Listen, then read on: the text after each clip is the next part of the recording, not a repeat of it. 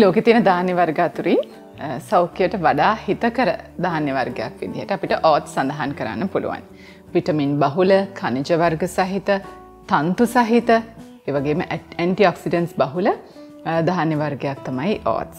ඔත් සුගාක් ජනප්‍රිය වෙලා තියෙන්නේ මේක හදිස්සියට ඉක්මනින් හදාගන්න පුළුවන් කෑමක් වීම නිසා. ඒ වගේම බර අඩු කර ගැනීම පිළිබඳව උනන්දු වෙන අය අතරත් ඉතාම ජනප්‍රිය ආහාරයක් තමයි ඕත්ස්. අදමම කතා කරන්නේ ඕත්ස් වල තියෙන හොඳ සහ නරක දෙක ගැනම. ඒ වගේම බර අඩු කරගන්න උනන්දු වෙන කෙනෙක් හරි විදිහට කොහොමද ඕත්ස් පාවිච්චි කරන්න කියලා. ඉතින් සයිබ කලිනික් මම හැම දවසකම උත්සාහ කරන්නේ ඔබේ ජීවිතයට අවශ්‍ය කරන ඒ නිවැරදි සෞඛ්‍ය දැනුම බෙදා දෙන්න. මගේ චැනල් එක තුළ වීඩියෝස් මේ වෙනකොට එකසේ විස්සකට වැඩි ප්‍රමාණයක් තියෙනවා.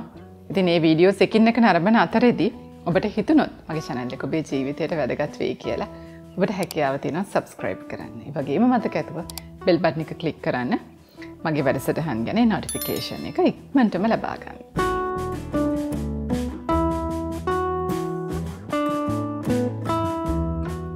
ඉස්සලම කතා කරමු ඕට්ස් වලින් අපිට ලැබෙන වාසි මොනවද කියලා.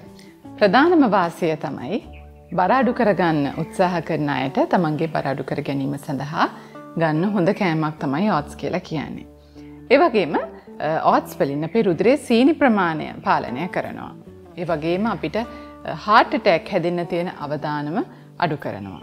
ඒ වගේ වාසි අපිට හොත්ස් වලින් ලබා ගන්නට පුළුවන්. ඔත්සලින් අපට ලැබෙන මොන වගේ පෝෂණයක්ද.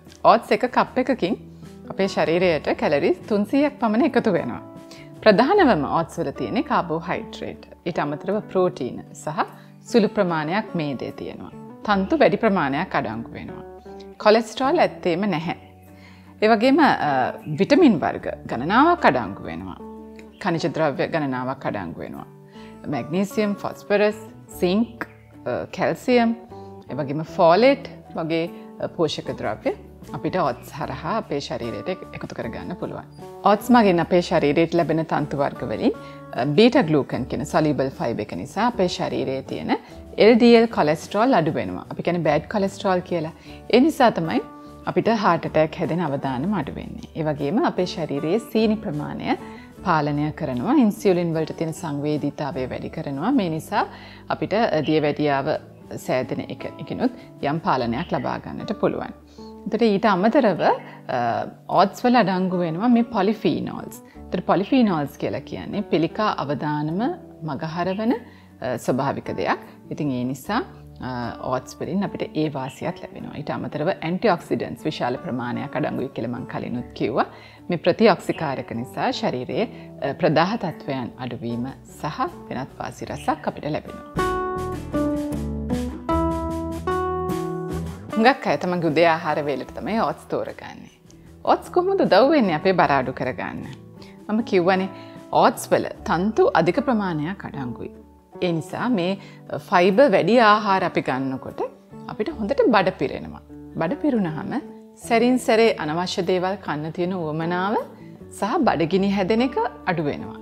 ඉතින් ඒ නිසා අපේ ශරීරයට වෙනත් මාර්ග ඔස්සේ එකතු වෙන කැලරි ප්‍රමාණය අඩුවෙනවා.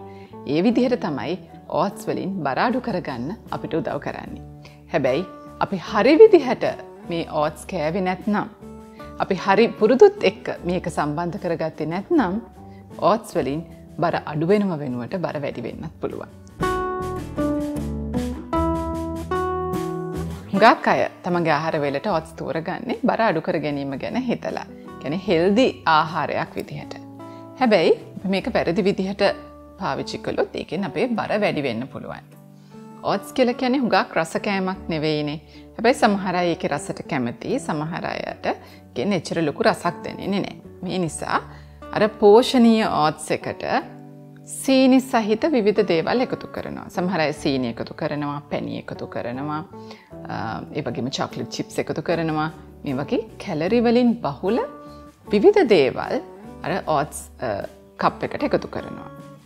සාමාන්‍යෙන් ඕත්ස් කප් එකකින් කැලරි තුන්සියක් විතර හම්බ වෙනවා. ඊට අමතරව වෙනත් සීනි අධික දේවල් මේ ඕත්ස්වල්ට එකතු කළාම ඒ හරහා ලොකු කැලරිස් ප්‍රමාණයක් අපි අපේ ශරීරයට එකතු කර ගන්න. තොට දිනපතා මේ විදිහට ඔබ කළොත් බර අඩුවෙනම වෙනුවට එක බර වැඩි වෙන්න හේතුවක් වෙනවා. බරාඩු කරගන්න උත්සාහ කරන කෙනෙක් හැමදාම උදේට ඔත්ස් කන එක හොඳද.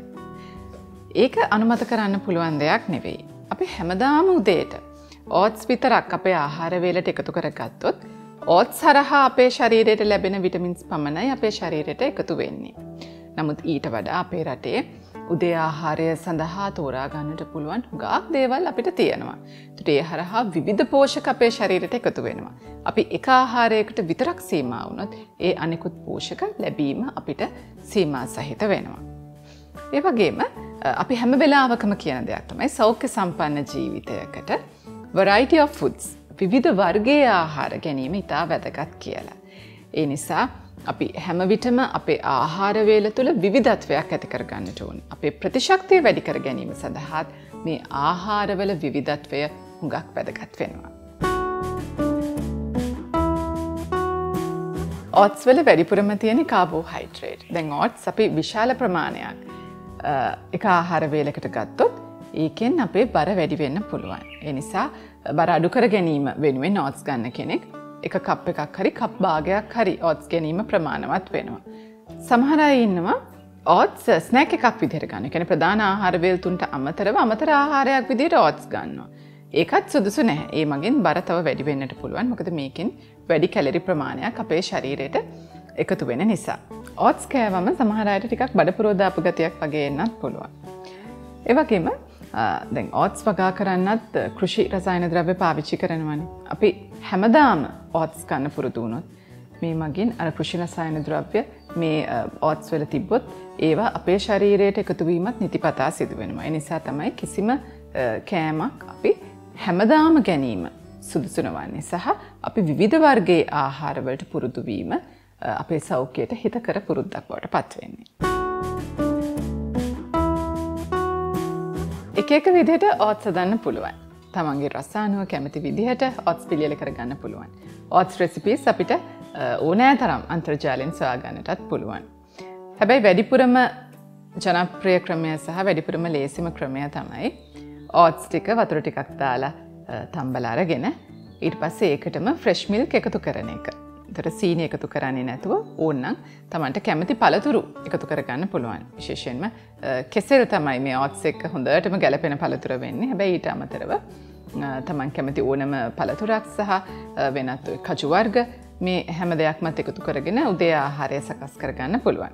ඊට අමතරව ඔම්ලෙට එකක් එහෙම හදනකොට ඒ ඔම්ලෙට් එකටත් තම්බපු ඕත්ස් ටිකක් එකතු කර ගන්නවනම් එතන පෝෂණීය සම්පූර්ණ ආහාර වේලක් ඔබට සකස් කරගන්න පුළුවන්. ඕත්ස් කොච්චර ගුණදායක කෑමක් වුණත් අපි එහි ගුණ සහ අගුණ දැනගෙන හරි විදිහට ඕත්ස් අපේ කෑමවේලට තෝරා ගන්න ඕන. එතකොට තමයි අපිට එහි ප්‍රතිඵල හොඳටම ලබාගන්න පුළුවන් වෙන්නේ. තවත් දවසක මුණ ගැහෙමු මම ඩක්ටටියර්.